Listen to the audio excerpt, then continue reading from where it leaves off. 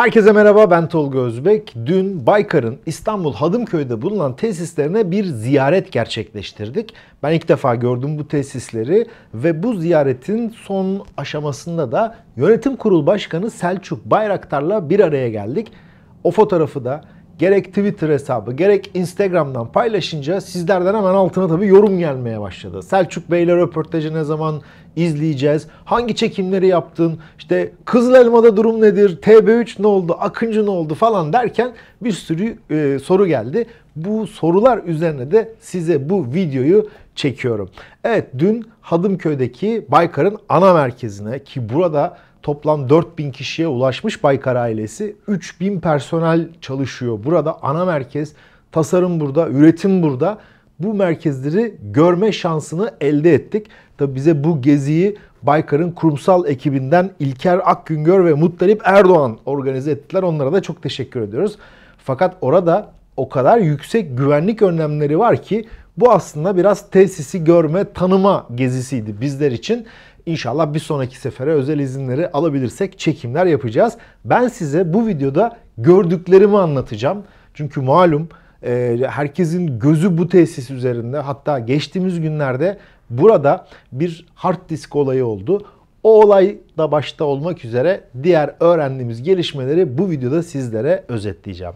Öncelikli olarak gerçekten çok modern bir tesis ve 4 ana fazdan oluşuyor bu tesis.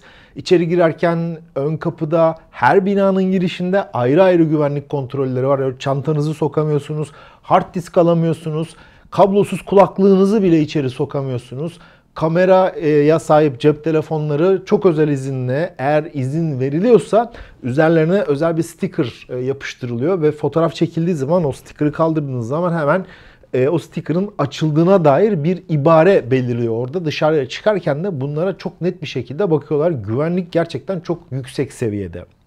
Bunun da nedeni hatırlayacaksınız zaten çok gizli bir iş yapılıyor bir taraftan.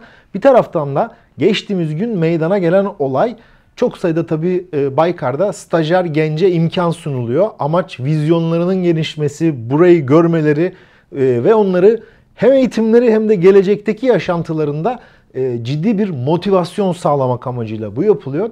Fakat tabii bir art niyetli bir stajyer boş gördüğü 4 hard diski çalıyor. Bunların da içinden herhangi bir şey çıkmıyor. Fakat bu Girerken bir kontrol var, çıkarken de bir kontrol yapılıyor. Bu kontrol sırasında bu hard diskler tespit ediliyor. Hemen güvenlik işlemi başlıyor. Zaten tesisin etrafında da çok ciddi bir güvenlik önlemi olduğunu belirtmemde fayda var. Şimdi tesisi fotoğraflardan, görüntülerden hatırlayacaksınız. Faz 1 olarak adlandırılan ilk imalat hattı var. Burada TB2 üretimi, bayraktarların üretimi yapılıyor ve burada böyle bir kuyruk numaralarına baktığımız zaman bu kuyruk numaraları imalat numarası değil tabii ki ama sayının 550'lerin üzerinde 560'a yakın bir kuyruk numarası görebildik. Zaten bir baktığınızda muazzam bir görüntü. 50 civarında TB2 duruyor hatta.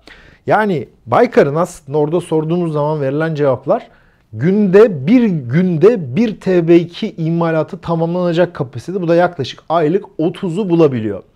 Kapıdan normal ana yapı girdikten sonra işte tabi sistemler, üzerindeki aviyonikler, kablolar, kamera sistemleri testleri yapılmış, motor testleri yapılmış. Ana girdikten sonra hatta burada kabuk olarak adlandırılan o kompozit yüzey buraya montajı yapılıyor. İlerliyor. Daha sonra kanatlar, işte dikey stabilizesi takılıyor son testleri, işte elektrik verilmesi falan aşağı yukarı e, bu işlemler tamamlandıktan sonra diğer kapıdan tamamlanmış olarak çıkıyor. Burada hemen test noktasını alıyor. Burada motor çalıştırılıyor ve motor testlerinden olur alındıktan sonra kanatları sökülüyor ve testin yapılacağı ana merkeze, uçuş testinin yapılacağı ana merkeze gidiyor. Hadımköy'de İstanbul'da şirketin ana üssü diyelim. Çorlu'da Akıncı ve Kızıl Elma için Keşan'da da TB2 için uçuş test merkezleri ve eğitim merkezleri bulunuyor. Örneğin TB2 ise Keşan'a gidiyor. Testi yapılıyor. Yabancı bir ülkeye teslim edilecekse onların işte operatörlerinin, bakım ekiplerinin, silahçıların eğitimleri orada gerçekleştiriliyor. O testlerden sonra olur verildikten sonra paketleniyor. Örneğin ihraç edilecek X bir ülkeye, X bir ülkeye gidiyor. Orada da yerinde teslim testleri yapılıyor. Oranın onay vermesinin arkasından teslimat gerçekleşir. Herhangi bir sorun olursa yani paketlenip tekrar alınıp yenisinin verilmesi veya onların giderilmesi gibi de tabii ki normal sözleşme babında ne varsa bunlar yapılıyor. Faz 1 bu şekilde. Faz 1'in ilk açıldığı zaman da çok enteresan bir şey anlattılar. Ee, Selçuk Bayraktar ve Haluk Bayraktar'ın masası bu fabrikada neredeymiş? İmalat hattının ortasında. Bu çok önemli. Neredeyse 7 gün 24 saat Haluk Bey, Selçuk Bey bu masalarında çalışıp üretime müdahale etmek. Hemen üst katta e, tasarımcı mühendisler var. O mühendisler sürekli üretim hattıyla temas halinde. Onları görüyorlar. Temas halinde sorunlar, geliştirmeler birebir elleri üzerinde bu şekilde geliştiriliyor. Arkasından işte şirketin diğer genel müdürlük binaları, mühendislik merkezi, örneğin Fergani olarak adlandırılan uzaya bir taşıyıcı sistem uyduğu için yapılacak bir sistem için çalışmalar var. Buralar, bu binalar yapılıyor. Test motor çalıştırma merkezi ve en son geçen ay fabrikanın faz 4'ü açılıyor. Faz 4'te muazzam büyüklükte bir yer. Bu yer tam 3 katlı. Bir kısmı Kızıl Elma'nın üretim hattı olacak. Bir kısmında da Akıncıların e, üretimi gerçekleştiriliyor. 3 katlı bu devasa hangar sisteminde en üst katta gördüğünüz uçaklar var. Alt katında CNC olarak adlandırılan, farklı eksenlere sahip üretim yapabilen, hassas üretim yapabilen makineler. Onun altın katında da tabii şimdi e, size motor lazım, sistem lazım, kameralar lazım, muazzam bir yedek parça deposu. Bu depoda da robotik sistemler çalışıyor. Örneğin diyorsunuz ki bana şu kamera sistemi lazım. Özel vinç sistemi gidiyor, raftan onu alıyor, asansöre yerleştiriyor el değmeden ve üretim mantığına doğru çıkartıyor. Böyle de bir sistem kurulmuş durumda. Biz gittiğimizde e, ekip oldukça genç çünkü e, Baykar'da gerçekten çok yoğun çalışılıyor, tempo yoğun. Çok yaşlı insan benim gibi görmüyorsunuz. E, adeta hani en yaşları belki orada işte Haluk Bey, Selçuk Bey e, ekip o şekilde yoğun olarak çalışıyorlar. Çok genç ekip ve herkes çok büyük azimle çalışıyor. Çünkü önlerindeki model Selçuk Bayraktar veya Haluk Bayraktar deri gibi çalışıyorlar. Onlar 7-24 o tempoları hiç bitmiyor. Genç ekibe de bu yansımış durumda. Onların da rahat çalışmaları için her türlü ortam var. Spor salonları var, yüzme havuzları var. Gece kalan e, personel için 5 yıldızlı bir otel yapılmış kompüs içerisine. Bir öğlen yemeği yedik. Yemekler gerçekten çok iyi. Muhtemel ben Baykar'da çalışsam herhalde 50 kilo falan alırım. Muazzam iyi yemekler var. İşte salata yemek isteyen, hafif yemek isteyen, daha işte et yemek isteyen, e, sebze ağırlıklı beslenen kim ne istiyorsa aşağı yukarı her türlü e, yemek çıkıyor. Kafeleri var, geniş bir parkları var. Hatta Selçuk Bey şey dedi, benim kızım geldiği zaman dedi bu parkta dedi çalışanların çocuklarıyla birlikte oynuyor. Çocuk parkı da var. İnsanların rahat edebilecekleri işte halı sahaları da var, basket sahaları da var. Bayağı bir e, sağlam bir spor kompleksi var. Streslerini spor yaparak atıyorlar. E, burada da çay kahve istediği noktadan alabiliyor. Tatlılar var. İşte ben çok yaklaşmıyorum tatlılara ondan sonra ama e, çok uygun fiyatlı, çok kaliteli şeyler sunuyor. Yemek açısından da Baykar'ın oldukça iyi olduğunu söyleyebilirim ki biz hani personel kafeteryasında yedik. Burada Selçuk Bey'de, Haluk Bey'de gelen ekipler, yabancı e, e, misafirler de burada yemeklerini, yediklerini ifade edelim. Tabii TB2'de bundan hatırlayacaksınız kısa bir süre evvel 500. TB2 teslim edildi. imalat hattından çıktı. Dediğim gibi ayda neredeyse 30 civarında çok ciddi bir üretim rakamı var. Ve bu üretim rakamı da büyük bir hızla gidiyor. Artık iş fabrikasyona dönmüş durumda. Peki bir TB2'nin ömrü ne kadar sorusu geldi. İlk çıktığında 5 yılmış. 5000 saat. Bu sonra yapılan ek değişikliklerle 7500 saate çıkmış. Şu an bir TB2'nin ömrü 10 yıl, 10.000 uçuş saati. Bunu tamamlayan fabrikaya geliyor hangi işte yıl veya saat hangisi önce geliyorsa tamamladıktan sonra dış kabuk o kompozit yüzeyi değiştiriliyor. Tekrar büyük bakımları yapılıyor ve tekrar teslim ediliyor. Bu da konunun enteresan bir kısmı. Akıncı ile birlikte farklı bir lige doğru taşıdığı e, TB2 taarruzi insansız hava aracı oldu. TB2'den sonra Akıncı 5,5 tonluk muazzam büyük bir hava aracı. İki farklı turboprop motor var üzerinde ve gerçekten onların üretim hattında da haftada bir Akıncı çıkıyor. Yani ayda bu eşittir 4. Zaten üretim numaralarınıza baktığınız zaman 50 küsürlerde e, ciddi bir ihracat başarısı da yakalamış durumda bu sistem.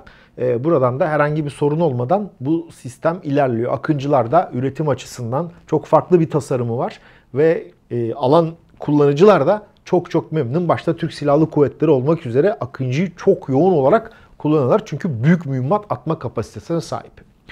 Oradan tabii hemen yanında Kızıl Elma var. Kızıl Elma'nın daha seri imalata geçmemiş durumda. Hala uçuş testleri devam ediyor. İşte Selçuk Bey'e Kızıl Elma durumları nedir diye sorduğumuz zaman şöyle bir şey söyledi. Normalde biz de 2023'ü hedeflerken gerçekten iyi çalıştık. Biz biraz söylerken biraz geniş söylüyoruz. Veya teknik özellikleri normalden daha düşük söylüyoruz ki bunları aşalım üzerine çok rahat çıkalım derdimiz bu. O ilan ettiklerimiz bile gayet yeterli. Biz dedi Kızıl Elma'yı hedeflenen tarihten 13 ay önce 2022'nin sonunda uçurduk. Uçuş testleri sürüyor. Kolay bir süreç değil. Gerçekten jet çok yeni bir konsept ve bunu robot uçak olarak adlandırdı Selçuk Bayraktar. Yani bu işte bu yok 5. nesil, 6. nesil değil dedi. Artık insan koymuyorsunuz. Yepyeni bir sistem başlıyor. Bu açıdan da Kızıl Elma çok farklı bir aşamaya gelecek. Daha evrilecek. Bir taraftan da tabii şimdi e, Baykar uçuş özellikleri, teknik özellikler olarak bir sürü geliştirmesini yapıyor. Yapay zeka var içerisinde. Fakat bu yapay zeka hani öyle ah kontrolden dışına çıktı bilmem ne oldu değil. Her anı insansız hava aracının kayıt altında. Yani şöyle bir örnek verdi orada. O da güzel bir örnekti. Belirtme açısından söylüyorum. İşte diyor ki bir e, seyir füzesini atıyorsunuz. Saatlerce uçuyor. Kilometrelerce ileride bir şey vuruyor. Veya bir düşman arazisinin üzerine giden bir F-16 diyelim bombasını bırakıyor. Hemen kaçması lazım. Hani o bomba gerçekten gitti mi? Vurdu mu? Ne kadar vurdu? Hasar ne yaptı?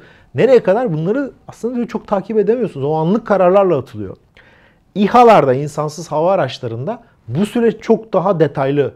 Yani görüntüler geliyor, karargahta bunu çok insan izliyor, inceleniyor, elekten geçiriliyor ve her an kayıt altında. Yani yarın öbür gün yani siz nereye vurdunuz, ne yaptınız, nerede uçtunuz dendiği zaman kamera görüntüsü her şeyle siz bunu sunabiliyorsunuz. Bu çok önemli bir şey. Yapay zeka bunun aslında çok insan kontrolü halinde. Yani çok aşamadan sonra düğmeye basıp uçuş yapılıyor. Düğmeye basıp atış gerçekleştiriliyor. Bunlar çok önemli. Bunları Selçuk Bey altını vura vura böyle çize çize söylemiş durumda. Gelelim TB3'e. TB3 de seri üretime geçmiş değil ama hatırlayacaksınız geçtiğimiz günlerde ilk uçuşunu yaptı. Çorlu'da testleri sürüyor TB3'ün ve aşağı yukarı havayı durumu iyi oldukça ki yani fırtına da uçurdular TB3'ü. TB3 çok zorlu testlere hızlı hızlı hızlı gidiyor. Şimdi tabi TB3'ün kara testlerinin yapılmasının dışında en önemli test aslında Baykar için TCG Anadolu'nun üzerine iniş kalkış yapması. Orada sorduk tabi Mojave olarak adlandırılan General Atomics'in e, sistemi İngiliz Kraliyet Donanması'nın uçak gemisinin e, üstüne indi kalktı. E, yani onun için mesela Selçuk Bey şey diyor yani bizim diyor geminin diyor güvertesi daha kısa. Bizimki bir uçak gemisi değil. Güvertesi daha kısa. Buraya rahatlıkla iniş kalkış yapabileceğini ifade ediliyor. Bu arada tabi rampa konusu var biliyorsunuz. Bizim geminin e, uç kısmında şöyle yaklaşık yanlış hatırlamıyorsam %12 eğimli bir rampa var. Bu rampayla yani düşün diyor. Bir gemi zaten diyor saatte 20 natla gidiyor diyor. E bunun yerden burun tekerlerini kesmesi 65 nat. E zaten 65'ten 20 çıkardınız 45 nat. Çok kısa sürede gazladığınız zaman alet hemen buna ulaşıveriyor. O rampayla birlikte zaten burun tekerleği kalktığı için hücum açısı artarak kısa bir sürede zaten kalkış yani o rampa çok yararlı bir şey. Bizim TB3'lere çok yararı olacak e, olarak söylüyor. Malum daha önceden tartışmalar vardı. F-35 için yapıldı o rampa diye. Sonuçta hani F-35 o rampaya gerek kalmadan havalanabilen bir hava aracı zaten. Ama o rampa bir yardımcı. TB3 için veya ileride Kızıl Elma için de bu rampa çok yardımcı olacak. Tabii ki TB3 Kızıl Elma operasyonunda daha emniyetli durabilmek için özellikle Kızıl Elma için bir tel sistemi var. Kancası olacak. Uçağın indiği zaman buna tutunacak. Bunlarla ilgili çalışmaların yapılması lazım ama Baykar kendine düşeni, sonuçta deniz kuvvetlerinin yapacağı bir tertibat e, bu konuda hava araçları konusunda elinden geleni yapıyor ve konsept konusunda çok ciddi çalışmalar gerçekleştiriyor. Şimdi bir şeye de e, güvenlikle ilgili e, konuyu belirttim size. Girişler çıkışlar zor. E, size işte Kızıl Elma, Akıncı, TB2 ile ilgili bilgiler verdik. Biraz da Selçuk Bey'in geleceğe dönüş bakışları ile ilgili bir şeyler anlatmak istiyorum. Gençlere çok güveniyor. Zaten de işte Teknofestler yapıyoruz. yeni başlangıç işte biliyorsunuz startup deniyor bunlara. Başlangıç çok istekli geliyorlar. Bizlerle birlikte çalışan var, kendi bir şeyler üreten var ama diyor bu startupların yani yeni girişimcilerin desteklenmesi gerektiğinin altını çiziyor. Devlet bunlara destek verebilirse, iş verebilirse yeni teknolojilerle işte o zaman günlük hayatımızı değiştirebilecek gerçekler ortaya çıkmaya başlıyor. İşte biz diyor böyle başladık ve bugün diyor 4000 kişilik Türkiye'de neredeyse savunma ihracatının yarısını yapar bir hale geldik diyor. Savunma ihracat ederken 2 milyar dolar gibi bir e, toplam e, rakamı var Baykar'ın bu yıl ulaşacağı sene sonunda. Türkiye'nin yaklaşık 4 milyar dolar olarak kabul edersek gerçekten yarısı hatta yarısından da biraz daha fazlaya geliyor ki bu çok ciddi bir rakam. Biz de diyor bir startuplık diyor. Gençlere güvensin hem devletler hem şirketler onlara destek versin. Destekledikçe onlar yeni teknolojileri getirecek. O yeni teknolojiler paradigma değişiklikleri yapacak. Bu sadece diyor savunma değil her alanda. Bu değişiklikleri yaptıkça katma değeri yüksek ürünler ortaya çıkacak. İhraç etmeye başlayacağız. Para kazandı, kazanınca bunları araya yatıracağız ve daha da yeni teknolojileri ürete ürete ürete bu alanda Türkiye'nin büyümesi, gelişmesi için çok önemli bir sayfa, çok önemli bir fırsat var önümüzde diyor. Bunları yapmamız gerekiyor diye böyle Selçuk Bey ile ayaküstü biraz konuştuk, vaktini aldık Selçuk Bey'in ama çok güzel şeyler açıkladı. Keşke bunları kaydedebilsek ama bu sonuçta bizim gazetecilikte çok önemli bir kısmı off record olarak adlandırılan böyle bir bilgilendirme, bir sohbet, e, bilgilendirme sohbetiydi. Bu da olayın çok büyük bir keyfiydi. Ardından da fotoğraflarımızı çektik, çektirdik ve e, Baykar'ın tesislerinden çıktık. Evet, Baykar'ın ben ilk Baykar'la tanıştığım zaman bundan neredeyse 15 yıl önceydi. O küçücük iki, del, iki tellide minicik bir atölyede e, yer alıyordu.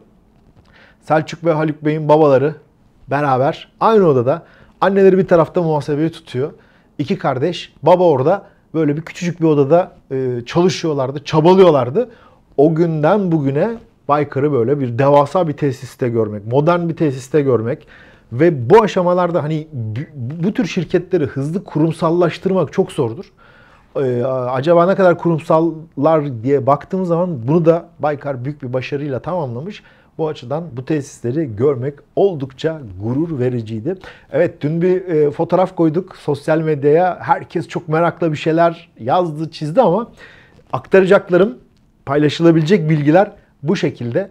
E, Baykar çok önemli bir örnek Türkiye için. Hem insanlar açısından hem şirketler açısından Selçuk Bey'in dedikleri de çok çok önemli. Umarım birkaç insana buradan ışık tutabilsek, bir kıvılcım yakabilsek bizler için en büyük, en keyifli durum bu.